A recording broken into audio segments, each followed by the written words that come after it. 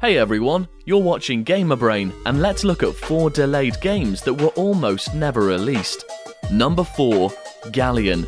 You might not be familiar with the title Galleon, and you might not be familiar with the name Toby Gard, but you probably are familiar with his first commercial success, Tomb Raider. Galleon is the follow up project that Toby worked on immediately after he left Core Design in a fit of anger, and it's definitely a story worth telling. In 1994, Toby was hard at work developing the first Tomb Raider game for PlayStation 1. He handled the full motion video sequences, co wrote the story, and even coded two of the levels all by himself. In fact, the famous mansion area that wowed gamers in 1996 was developed solely by Toby over the course of a single weekend when the team was in a real hurry. Most importantly, he is the person responsible for creating the Lara Croft character. This is also where all of his troubles would begin. Most development issues stem from problematic glitches or hard to reach deadlines, but Toby's beef with his team at Core Design and with the game's publisher at Eidos Studios was much more personal than that. You see, before Lara Croft became the world's first digitized sex symbol, she was originally intended to look much more innocent. That's because Toby had based Lara Croft on none other than his very own sister. So when the big wigs at Eidos started dressing her in skimpy clothing and increased her chest polygons by 150% without asking for his permission, he took serious offence. Toby stuck around until he just couldn't stand it anymore.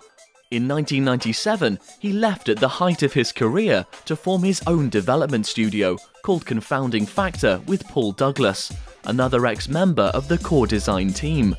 Together, they would struggle with Galleon for the next seven years. Toby was 24 at the time. As the name suggests, Galleon is a swashbuckling action adventure game that its makers describe as a mix between Sinbad and old kung fu films. Unlike Tomb Raider, the main character of this game is a male hero by the name of Captain Rhama Sabrier, the over the shoulder point of view and overarching exploration theme was, in essence, the same formula that made Tomb Raider so great. As such, it looked like Toby had created another slam dunk game that would make Eidos sorry. Toby announced that the game was one year away from completion in a 1998 video with Gamasutra, and everything seemed to be all set. However, there was just one major problem while Toby had no shortage of determination, he did have a severe lack of manpower. Galleon was being developed by little more than a five person bare bones crew. As such, it was supposed to be released for the original PlayStation, but after that release date steered them by, it was supposed to be released for the Dreamcast, GameCube, PS2, and PC. Unfortunately, technical problems stopped them each time. When the game was finally playable, so much time had passed that the graphics were horribly out of date and the gameplay felt clunky. Toby and his team continued to slave away at an updated version of Galleon that they hoped would be able to compete with the next gen titles, but as the years piled on, an actual release seemed less and less likely. Finally, a United Kingdom game publisher named Psy picked up the license in mid 2003 they announced that it would be an Xbox exclusive, which would severely limit the audience and therefore the sales, but at this point, Confounding Factor just needed to get the darn thing out there already. Unfortunately, the game's 2004 release was met with a relatively lukewarm reception. The game would have been seriously impressive in the 90s, but too much time had passed and there were already way better titles out there. Toby admitted defeat and rejoined Eidos that same year with Crystal Dynamics Studios, where he stayed until 2009. After that, Toby began a new development studio called Tangentlemen five years ago. Now they are working on a PS4 virtual reality horror game called Here They Lie. Whether this new title will be a Tomb Raider or just another Galleon in terms of its success, however, remains yet to be seen. Number 3 Halo Combat Evolved. If Halo was released in its original form, then you would have been clicking on bases instead of racking up headshots. That's because the series was originally supposed to be a top-down real-time strategy game, or RTS for short. At the time, the developers at Bungie were looking to capitalize on the success of their medieval fantasy RTS game, Myth. They partnered with Take-Two Interactive, who were the same guys who made Grand Theft Auto for the original PlayStation, and started developing what would eventually become Halo, one of the most popular series in gaming history to almost never see the light of day. The early versions of Halo took place on a planet called Solipsis, it was going to be developed for Mac computers only, and it wasn't even called Halo yet. Instead, the RTS was originally called the Crystal Palace, Hard Vacuum, Star Maker, Star Shield, and even the Santa Machine. Eventually, they decided to ditch the RTS concept entirely and move it one gigantic step closer to becoming the game that we all know and love. This time around, the gameplay was changed to a third-person shooter, and the setting was switched to a huge starbase that was built around a planet. This 1998 version featured rideable dinosaur mounts, harpoon weapons, a gravity gun, and they even planned to add sea monsters. Its codename? Monkey Nuts. No, I'm not making that up. Later on, lead developer Jason Jones changed the codename to Blam out of respect for his mother. Steve Jobs himself debuted an early version of Halo under its official name the next year at Macworld 99. The crowd loved it, and Bungie agreed to release Halo on the PC as well as the Mac. By the year 2000, however, plans would change yet again. Now Microsoft wanted Bungie to release Monkey Nuts, I mean Halo, exclusively on the Xbox instead. The only problem was that Take-Two Interactive had a say in the project too, and they didn't want to alienate their PC and Mac fanbase with an Xbox release. To get around this potential snag, Microsoft bought out Bungie and gave Take-Two Interactive all of the rights to the Myth series to do with as they pleased. Critics largely regarded this as a sellout move and were sad to see Bungie get eaten by Bill Gates. Even though the move was not well received by the public at the time, the split actually led to success on both sides. Take-Two Interactive went on to release a couple more Myth games, along with a little PlayStation 2 game called Grand Theft Auto 3. Microsoft, meanwhile, moved forward with their Xbox release of Halo. You would think that Halo would finally get released at this point, but no, not quite yet. Microsoft thought that the third person view worked well for the campaign mode, but as far as multiplayer was concerned, well, the camera angles just plain sucked. Jason Jones initially protested this decision and delayed the game further, but he finally gave in and went ahead with Microsoft's demands. In 2001, after three redesigns and a development period that had begun sometime in the mid 90s, Halo Combat Evolved rocked audiences everywhere. Even though it was a launch title, it continued to sell more copies than any other Xbox game for the next four years. Years later, Halo Wars was released on the Xbox 360 in 2009. This title gives gamers a glimpse of what the original Halo could have been like if it were released as an RTS. Although Halo Wars has been widely regarded as a fairly decent game, most would agree that the decision to go first person shooter was way better for the franchise. Number 2 Half Life 2 Half Life 2 was undeniably one of the most hotly anticipated games of the early 2000s. Valve announced Half Life 2 in May of 2003 and said that the game would be out only four months later. However, one month before its release, a 21 year old hacker stole the source code. The hacker was named Axel Gembe. He lived in Germany and he was extremely skilled at generating fake keys to install pirated games, as well as programming malware. Like many others, his favourite game of all was Half Life. He was thirsty for any details he could get about the sequel, so he decided to hack Valve servers. To do this, Axel used a program that's normally designed to synchronize files across multiple servers. Basically, developers will use this tool to make sure that their game files stay constantly updated as they work on them from different computers and locations. Axel, however, was able to use this tool to look up the names of all the subdomains in Valve's web directory. Most of these subdomains were well protected, but one subdomain owned by a company called Tangis was not blocked by Valve's firewall. Axel used this to access Valve's primary domain controller, which he found out had a generic username and no password. Now he had access to each and every one of Valve's servers. Axel spent weeks silently spying on design documents and other notes from Half-Life 2's creators. It was exactly the kind of inside information that he was looking for. Then he found the motherlode, the game's raw source code. Axel quickly downloaded it and disconnected before anyone could notice. The young hacker was hoping to get the game to run on his computer, but it wouldn't work.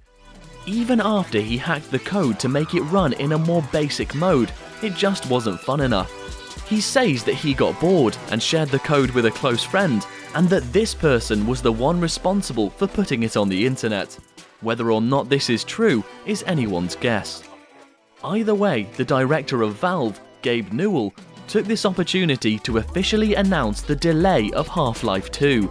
He blamed the source code leak at the time, but he later said in a 2004 interview with Games Fusion that the team had simply underestimated the amount of work that they had left to do. The game was eventually released way later than they had intended, in November of 2004. Anyway, Axel probably would have gotten away with all this if he didn't decide to foolishly email Gabe Newell directly on February 15, 2001. Just one day after Valentine's Day, Gabe received an email from someone who identified themselves only as Da Guy. Axel apologized for stealing the code and brazenly asked for a job working with Valve. Gabe didn't believe that it was real until he saw two attached files that could have only been taken from someone with access to his private servers. Gabe wrote an email back to Axel just a few days later. Of course, we would love to interview you for the job, the email explained. Are you available for a phone interview? Of course, Gabe had no intention of actually hiring him. Instead, the FBI was listening in as Axel bragged and admitted his guilt. They set up an interview to meet in person, but German authorities intervened before that could happen. Later that same week, a German police officer took Axel to the station. After explaining what had happened, Axel signed an agreement that he would check in with the police at least three times a week for three years until his trial date in 2006.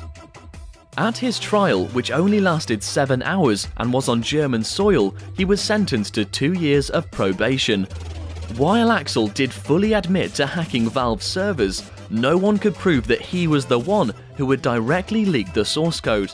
Apparently, however, these were not the only illegal activities that Alex was engaged in. When he wasn't busy hacking Half-Life 2, Axel was hired that very same year to hack into multiple businesses and cause hundreds of thousands of dollars worth of damage. He was caught and charged for this crime in 2008. He might not have gotten in much trouble for stealing the source code for Half-Life 2, but if he is convicted this time, he could face 15 years. Number 1. Duke Nukem Forever. We'll spare you the overused jokes and get straight to the meat of the story. In April of 1997, Duke Nukem Forever was announced by 3D Realms. It had been in development since 1996, just one year after Duke Nukem 3D. Originally, the game was scheduled to hit stores in January 1998, but in reality, it would be 15 years before the title would ever surface. To put this into a better perspective, a game that was originally designed using the Quake 2 engine took until the Xbox 360 and PlayStation 3 era to be released. What happened? Well, basically one blunder after another. It was originally supposed to be a side-scroller, but this idea was abandoned when the lead developer decided to work on a Duke Nukem 3D expansion instead, so it was back to the drawing board. In 1998, the new project lead, Dave Broussard, ditches the Quake 2 engine in favour of the newer Unreal Engine. The game gets bounced around a bit until a 1999 release is finally announced in August. When 1999 rolls around, however, lead developers announce that they are switching to a slightly modified engine that is for Unreal Tournament. This proves to be a terrible mistake. By November of that year, they admit that they have totally broken their own code and need to patch it. Whoops. At the end of 1999, some business exchanges take place, and a company called Infogrames buys a controlling stake in GT Interactive, a major video game distributor. They effectively own the Duke Nukem Forever project and schedule a new release for the year 2000. When 2000 rolls around though, Take-Two Interactive purchases the exclusive publishing rights. The game gets pushed back another year, but they do release a trailer at E3 that's very well received. From there, the divide between Broussard and Take-Two Interactive seems to widen. In 2002, Duke Nukem Forever is mostly scrapped in favour of yet another engine. A majority of the levels and character models are thrown away too. Delay after delay is announced, and Take-Two Interactive throws more money at the problem by expanding the team to 30 members. Things finally come to a boil on May 29, 2003, when Broussard writes a terse message that says Take Two needs to STFU IMO about the game's release. This is enough to make news on CNN and causes a lot of embarrassment on both sides. The bad publicity is further heightened when Take-Two's CEO says that the game is going to use Doom 3 technology. Dave Broussard denies this statement, and it becomes apparent that either no one knows what they are talking about, or something has gone terribly wrong and is now being covered up. Little more is heard from the development team for three more years. In 2006, Dave announces that the game is mostly complete, Little news circulates for another two years, until in 2008, when it's finally scheduled for the PC, Xbox 360 and PlayStation 3. After this announcement, 3D Realms promptly blows all of their money and shuts down in 2009. Thanks for being fans and for all your support, is all the message on their website says. There's also a lame group photo of them smiling. Apparently they were full of hot air about Duke Nukem Forever the entire time. Take-Two Interactive sues 3D Realms for not developing the game as promised. They reach an agreement out of court, the details of which have never gone public. In 2010, Gearbox Studios acquires the license and announces that they will push Duke Nukem 3D through their distributor, 2K Games. At this point, there had been so many false starts that the world hardly cared about Duke Nukem anymore. Most of Duke's fans had gone through puberty and started families of their own. Now they had full-time adult responsibilities and very little time to kick ass and chew bubblegum, as the saying goes. Still, Gearbox Studios stayed true to their word, and the game was finally released in 2011. And guess what? It stunk badly. But the legal fun doesn't end with Duke Nukem Forever. In 2014, Take-Two Interactive sued 3D Realms and another company called Interceptor for trying to develop yet another Duke Nukem game without their permission. Duke Nukem Mass Destruction was a top-down RPG that would have been released for the PC and PS4. 3D Realms replaced Duke Nukem with another character named Shelly Bombshell Harrison, Given 3D Realms' track record, however, the lawsuit probably wasn't necessary, since the game most likely would have taken another 100 years to make. Thanks for checking out this video. Since you watched the whole thing, I'd really appreciate it if you hit that like button. Subscribe as well if you want, since we upload a new gaming countdown each week.